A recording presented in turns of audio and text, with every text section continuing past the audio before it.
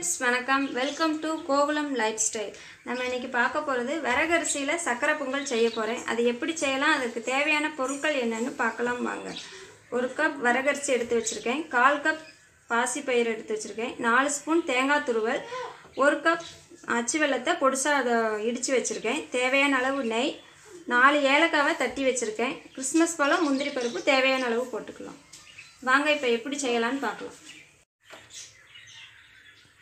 முதல்ல பாசி பருப்பை லைட்டாக பொன்னிறமாக வர்ற வரைக்கும் வ வறுத்துக்கிடலாம்.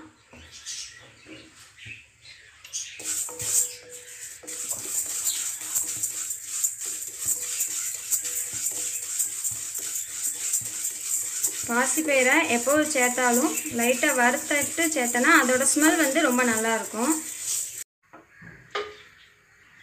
இப்போ வறுத்து வச்ச பாசிப்பயிரையும் வரகரிசியும் ஒன்றா கலந்துடலாம். கலந்துட்டு தண்ணி ஊ கலந்துட்டு தண்ணி ஊற்றி ஒரு மூணு தடவை கழுவிக்கலாம் நல்லா க்ளீனாக வரகரிசியில் நிறைய புரதச்சத்துக்கள் இருக்குது அதனால் உங்கள் வீட்டில் கண்டிப்பாக செஞ்சு பாருங்கள் நல்லா சுத்தமாக கழுவிட்டேன். இப்போ இதுக்கு தேவையான அளவு தண்ணி ஊற்றிக்கலாம் ஒரு கப் வரகரிசி எடுத்தேன். அதனால் மூணு கப் தண்ணி ஊற்றிக்கலாம்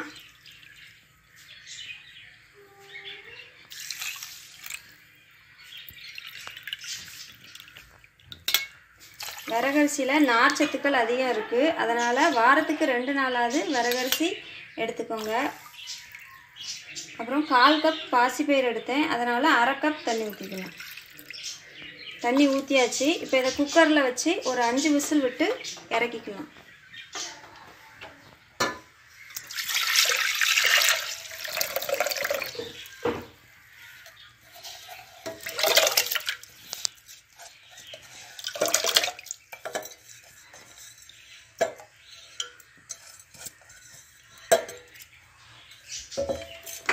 இப்போ அடுப்பை ஆன் பண்ணிடலாம். ஆன் பண்ணி ஒரு அஞ்சு விசில் விட்டு இறக்கிடலாம்.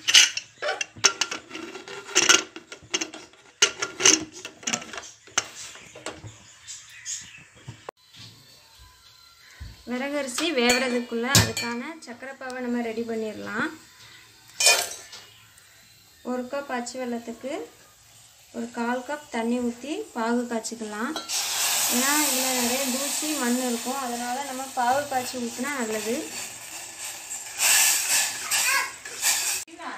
இந்த அளவுக்கு வெந்தால் காணும். இப்போ அடுப்பை ஆஃப் பண்ணிடலாம். குக்கர் குக்கரில் கேஸ் நல்லா இறங்கிட்டு இப்போ ஓப்பன் பண்ணி பார்த்துடலாம் விறகரிசியும் பாசிப்பயிரும் நல்லா வெந்து குழஞ்சிட்டு இந்த ஸ்டேஜில் நம்ம பாகு காய்ச்சி வச்சதை மேட்டாப்பில் ஊற்றிடலாம்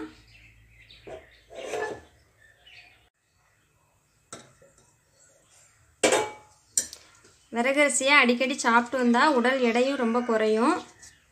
இந்த ஸ்டேஜில் அடுப்பை ஆன் பண்ணிக்கலாம். ஆன் பண்ணி இது எல்லாத்தையும் ஒன்றா நல்லா கலக்கி கலக்கிக்கலாம்.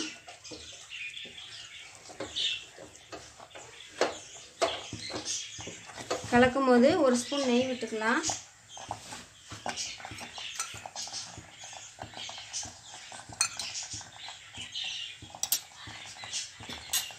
மலச்சிக்கல் இருக்கிறவங்க அடிக்கடி இதை உணவில் சாப்பிட்டு வந்தால் மலச்சிக்கல் சரியாகும்.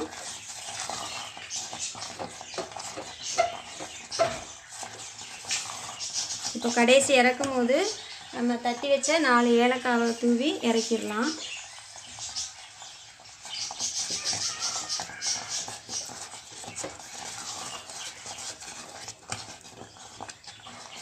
இந்த அளவுக்கு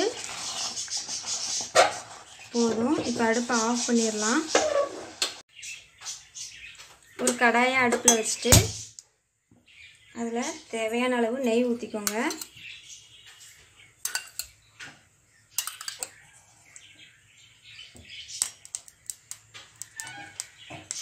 நெய் காஞ்சதும் நம்ம எடுத்து வச்ச முந்திரி பருப்பையும் கிறிஸ்மஸ் பழத்தையும் போட்டு லைட்டாக வதக்கிக்கலாம்.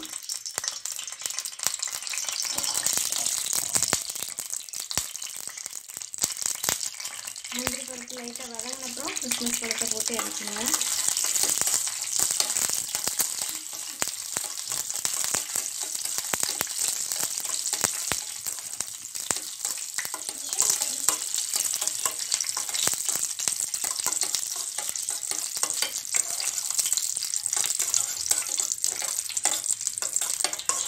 இந்த அளவு வந்த பிறகு கிறிஸ்மஸ் பழம் போட்டுக்கலாம்.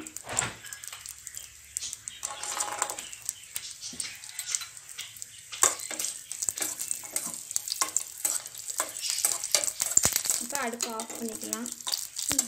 ஆஃப் பண்ணிவிட்டு இது அந்த பொங்கலில் கட்டிடலாம்.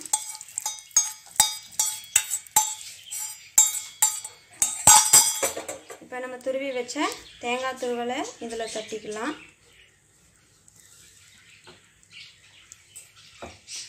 தட்டி நல்லா கிண்டி விட்டுக்கலாம். கல்லடைப்பு உள்ளவங்க வாரத்தில் மூணு நாள் வரகரிசி சாப்பிட்டு வந்தால் கல்லடைப்பு நோய் கூட குறையும்.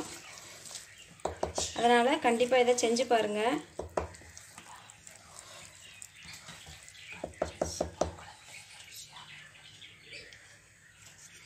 பச்சரிசி பொங்கலை விட வரகரிசி பொங்கல் ரொம்ப ருசியாகவும் டேஸ்ட்டாகவும் இருக்கும்.